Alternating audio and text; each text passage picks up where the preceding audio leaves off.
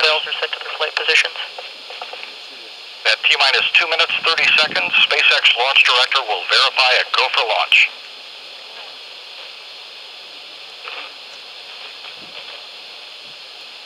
PLD, verify go for launch. Go for launch.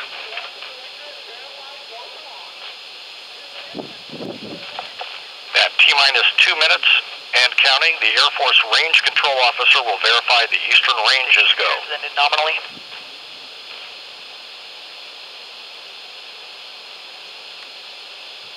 T minus 2 minutes 10 seconds and counting.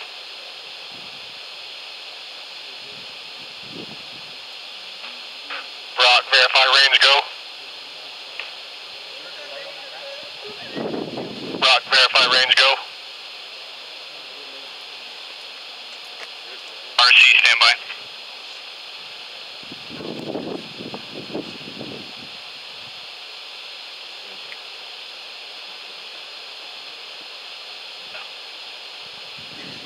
RC, this is Rock on Countdown Net. Range green. Three valves are coming open. Helium load is ending nominally. Aux bleeds are open.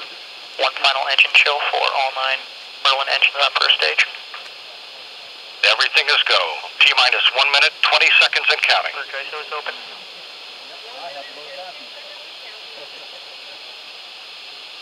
At T minus 1 minute, the flight computer will be commanded to start up. First engine, children. Flight computers in auto idle. T minus 1 minute. Flight computers in startup. Flight computer now in control of the vehicle. Computer now controlling the vehicle at T minus 53 seconds. Standing by for the propellant tanks to flight pressure.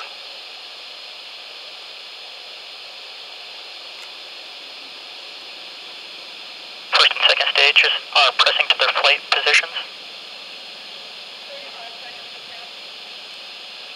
Helium checker is aborted nominally. T minus 30 seconds.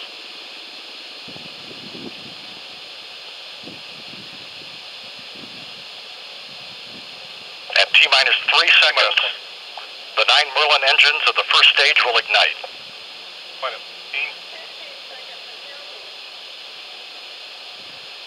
Ten, nine, eight, seven, seven, six, five, four, three, two, one.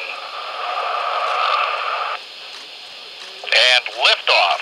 Liftoff of the SpaceX Falcon 9 rocket, launching Dragon to the International Space Station and returning cargo resupply missions to U.S. soil.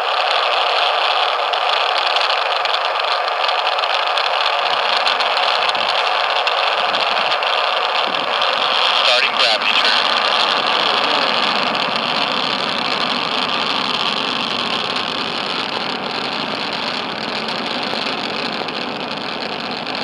JDMTA acquisition signal.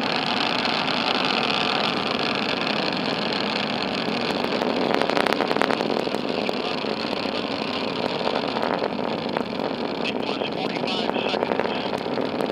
One minute and 10 seconds after liftoff, the Falcon 9 will reach supersonic speed, passing through the area of maximum dynamic pressure.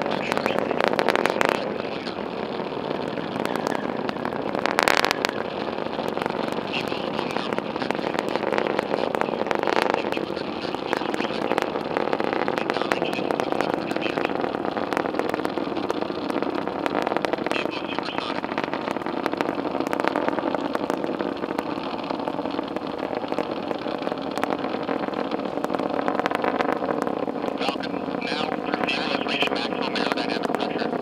This is the point where the mechanical stress on the rocket reaches its peak because of the rocket's velocity and the resistance created by the atmosphere of Earth.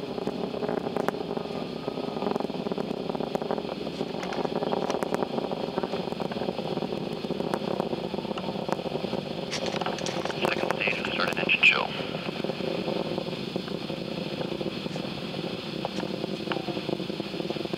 Coming up on two minutes, everything is go. All nine Merlin engines performing normally.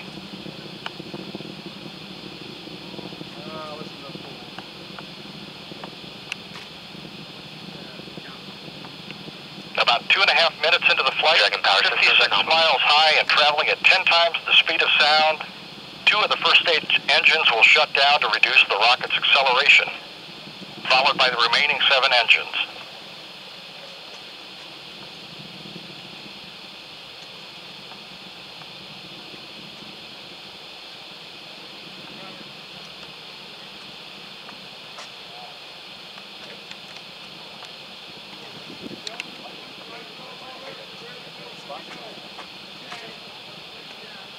Approaching MECO 1. Approaching main engine cutoff.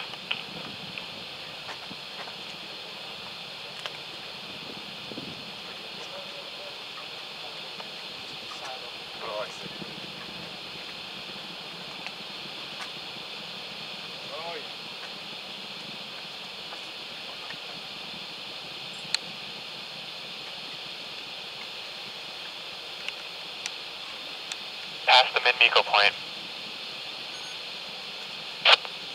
First stage shutdown. And the first stage has shut down. Confirmed.